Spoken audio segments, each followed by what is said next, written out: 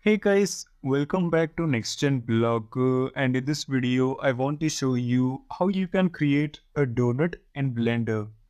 Now it's actually super easy to create a donut in Blender. So without further delay, let's get started and see how you can do this. Now to demonstrate this, I've already opened up the Blender software and this is the default interface which you're going to see when you start Blender. Now, before I even start, let me just tell you that creating a donut is a long process. And that's the reason I've divided this entire tutorial into multiple parts.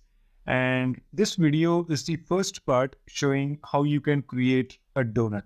All right. Now, to begin with, first of all, I would like to delete this cube as I don't really need this. And instead of this cube, let me add a different object. So the object which we are going to use to create our donut is called a torus. So to add it, you need to go to the add menu, go to mesh, and right here, you're going to find the torus option. So simply click on it. Now let me just zoom in like this. Perfect. Next, what you need to do is you need to click on this add torus option, which is present right here. And the moment you click on this add torus option, this add torus option is going to expand and there are a bunch of different options inside this particular add torus dialog. And the options which we are mostly interested in is this four major segments, minor segments, major radius, and minor radius. Now, to explain to you in simple terms what these options are, major segments and minor segments helps you to adjust the resolution of your object and major radius and minor radius helps you to adjust the size of your object. And one side note which I would like to tell you, and I hope you remember it for future, is that it's always better to create low resolution objects and then add resolution later on in the future if you need them, rather than creating high resolution objects and then delete resolution later on. All right. So keep this in mind. Always create low resolution objects in the beginning. Don't create high resolution objects because if you create a high resolution objects, it's going to take a lot of time to render and it's very difficult to work with high resolution objects. If you want to tweak them, it's going to be a lot difficult.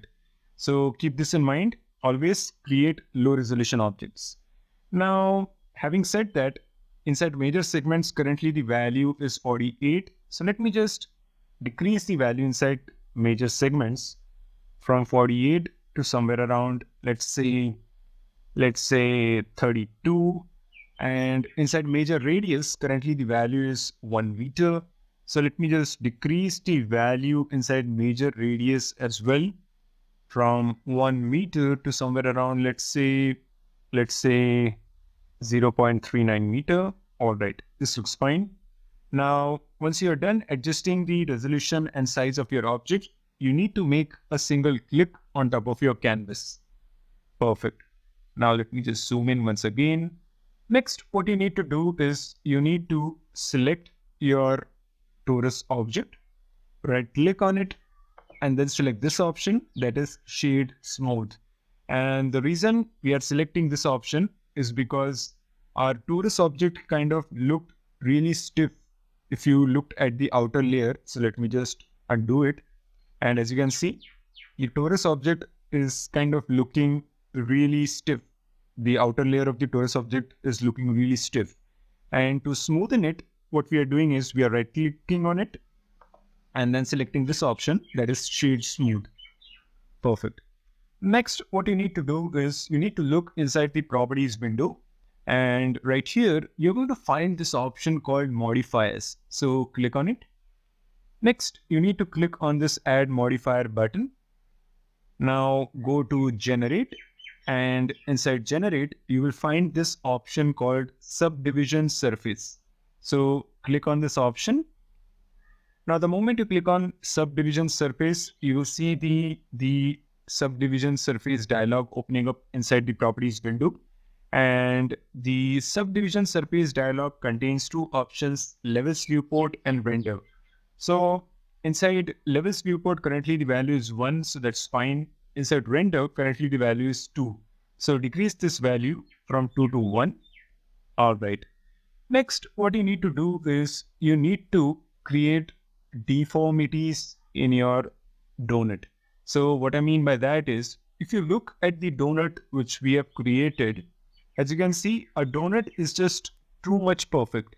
And uh, such perfect donuts don't exist in the real world because um, there is an element of human touch when donuts are created and such perfect donuts don't exist.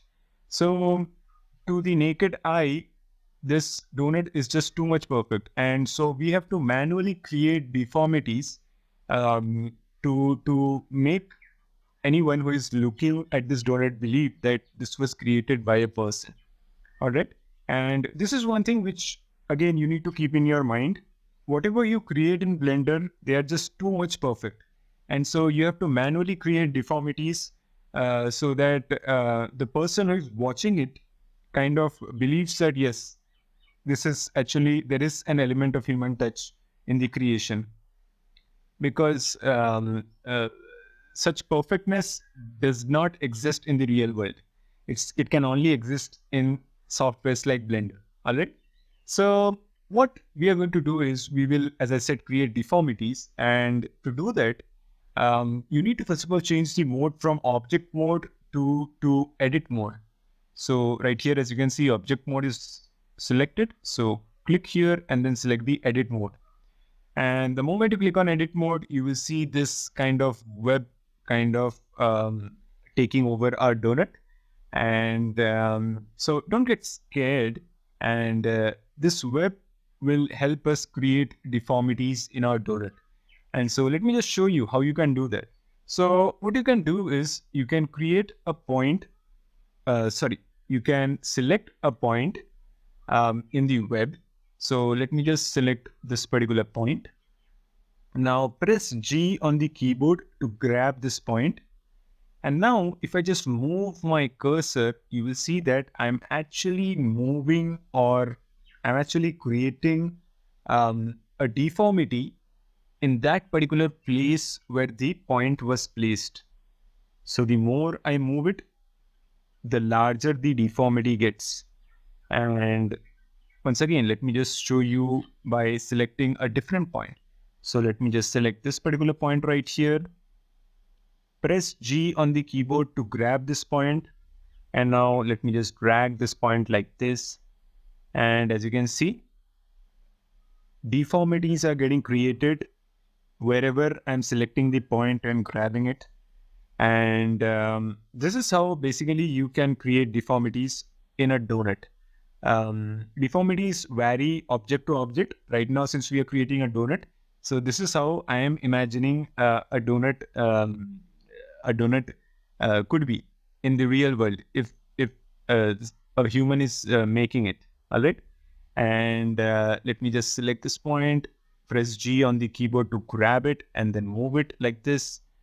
Um, and you can continue doing it all right but the problem here is is that um, this is just too much time con uh, time consuming all right we can just select points, we can grab them, we can create deformities, but it's just too much time consuming.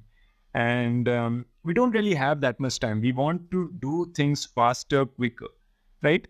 So what we are going to do instead is we will use something called proportional editing.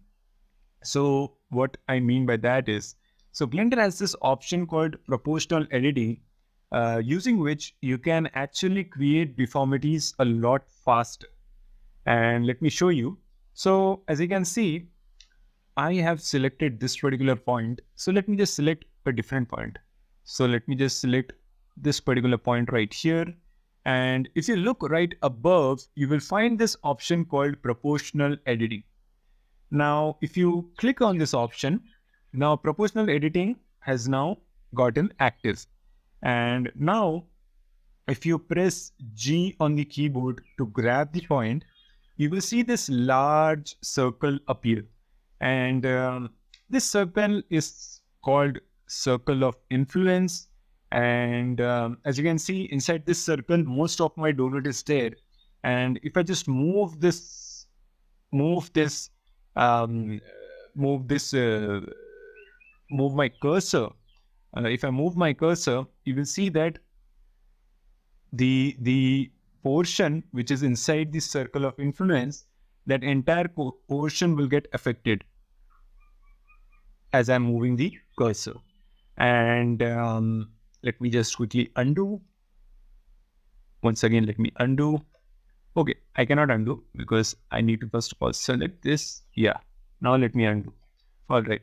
Now, what you need to do is you need to, first of all, um, we have selected the point, press G on the keyboard to grab it, and we need to decrease the circle of influence. So the keyboard shortcuts to increase and decrease this circle of influence is page up and page down.